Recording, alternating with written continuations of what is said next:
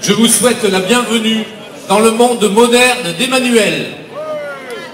Un monde de, liberté, mais pas la liberté que vous connaissez, celle qui est gravée au fronton des bâtiments de la République et qui est directement liée à l'égalité et à la fraternité. Non, la liberté d'entreprendre, liberté de choisir. Et dans le monde moderne d'Emmanuel, pour être libre, il faut d'abord casser tous les cadres collectifs protecteurs.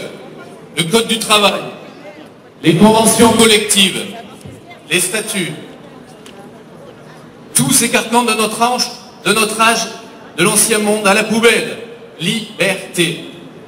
Liberté d'aller vendre ta force de travail sans protection ni garantie. Tâcheront, ça c'est moderne.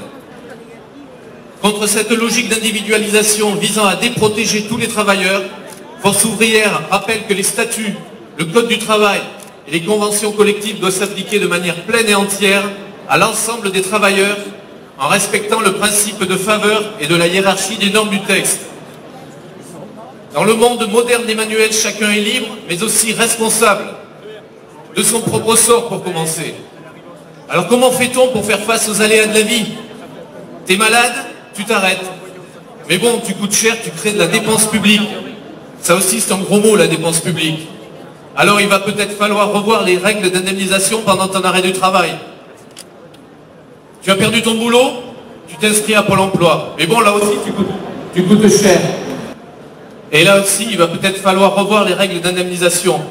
Surtout que franchement, si tu n'as pas de boulot, c'est bien de ta faute. Tu n'as qu'à traverser la rue pour en retrouver. Plus de 6 millions de demandeurs d'emploi inscrits et 300 000 emplois non pourvus. Traverse la rue, mais fais vite, il n'y en aura pas pour tout le monde.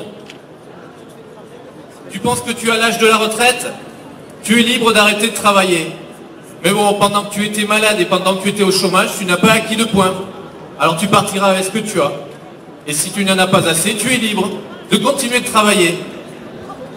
Force ouvrière réaffirme son attachement au service de retraite par répartition, fondé sur la solidarité intergénérationnelle, exige le maintien du régime général, du régime agricole, des retraites complémentaires et des régimes spéciaux. Elle rejette le projet gouvernemental de régime universel de retraite par points. Un système de retraite par points, ce sera le travail sans fin. Ce sera de la retraite en moins. Dans le monde moderne, Emmanuel, tu es pauvre. Avec le pognon de dingue qu'on dépense. Tu fais exprès, c'est pas possible. Bon, on va te reprendre, on va te tendre la main, mais attention, ça se mérite. Il va falloir que tu montres vraiment que tu veux t'en sortir. Par contre, dans le monde moderne d'Emmanuel, comme il y a des gens qui ne sont rien et des gens qui ont réussi, si tu fais partie de la seconde catégorie et que tu es riche, bravo, tu seras récompensé. Et un gros cadeau fiscal pour le premier de cordée. Pour les autres, ayez confiance, ça finira bien par ruisseler vers vous.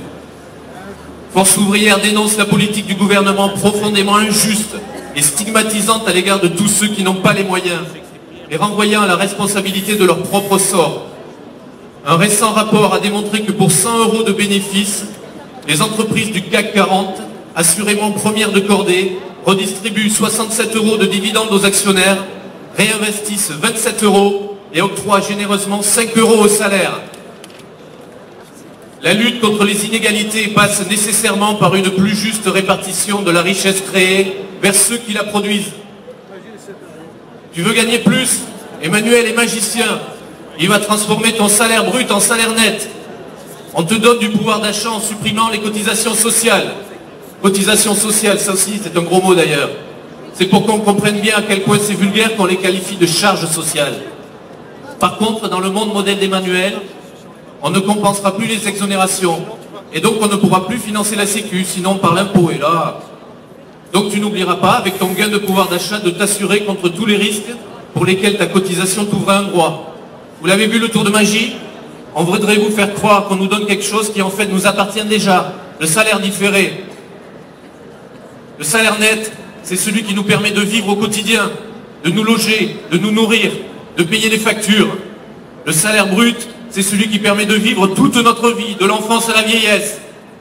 Force ouvrière tient à réaffirmer son attachement au principe fondateur de la sécurité sociale, outil résolument moderne de progrès, de solidarité collective, consistant notamment par la cotisation, selon ses moyens, à protéger les travailleurs et leurs familles selon leurs besoins, contre les risques de toute nature. Il ne vous plaît pas le monde moderne Emmanuel? Pour être honnête, il faut rendre à Emmanuel ce qui appartient à François, Nicolas et les autres. La tendance s'est accélérée sous ce gouvernement, mais ça fait des années que la régression sociale est en marche. Chaque réforme engagée par les gouvernements successifs s'est soldée par un recul pour les droits des travailleurs.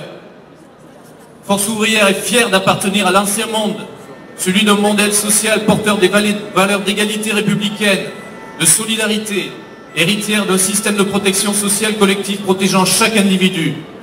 Ce modèle social a été construit pierre à pierre depuis 120 ans, et notamment au, sortir de la Seconde Guerre, sur un véritable champ de ruines, dans une situation économique exsangue, par des femmes et des hommes venus d'horizons syndicaux et politiques différents. Et aujourd'hui, la septième puissance économique mondiale ne saurait le supporter Force ouvrière condamne ce qu'elle qualifie de contre-réforme qui se multiplie ces derniers mois et nous entraîne vers une société du chacun pour soi, générant chaque jour davantage d'exclus et de laissés pour compte. Malgré les péripéties, comme il les qualifie lui-même, qui défraient quotidiennement la chronique, encourageant les Français à arrêter de se plaindre, le chef de l'État et son gouvernement n'entendent pas s'arrêter ni même ralentir dans cette œuvre de destruction massive. L'heure est maintenant à une réponse forte face à l'ampleur de ces attaques pour emprunter une image rugbyistique, notre mêlée a reculé sous l'impact. Il nous faut maintenant planter les crampons pour ne plus reculer, serrer les lignes et inverser la poussée.